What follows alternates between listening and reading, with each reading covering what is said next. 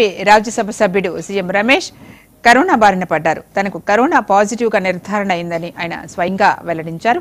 ప్రస్తుతం తాను బాగానే ఉన్నానని డాక్టర్ల సలహా మేరకు ఐసోలేషన్లో ఉన్నానని ట్వీట్ చేశారు. రమేష్కు కరోనా సోకిందనే వార్తలతో ఆయన అభిమానులు ఆందోళనకు గురవుతున్నారు.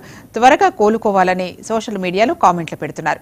మరోవైపు ఇప్పటికే పలువురు రాజకీయ నాయకులు కరోనా బారిన పడ్డారు. కేంద్ర హోంమంత్రి అమిత్ షాకు కూడా కరోనా సోకటంతో ఓ ప్రైవేట్ ఆసుపత్రిలో చికిత్స తీసుకుంటున్నారు.